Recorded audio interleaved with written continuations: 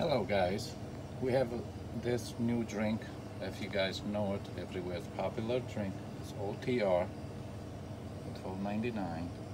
You got a rum flavor, it's a gin, it's whiskey, it's vodka, and there's some kind of, I'm thinking tequila, but we haven't tequila. Our Hornitos, which is tequila flavor, and this one is some like a tequila, but it's got jalapeno in it. Jalap it's a jalapeno flavor, as you can see. This one is the vodka,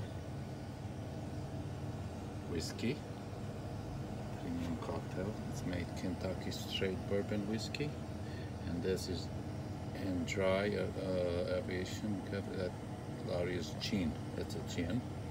And this is Mai Tai, which is Cruzan rum. So, and then we have the tequila margarita too.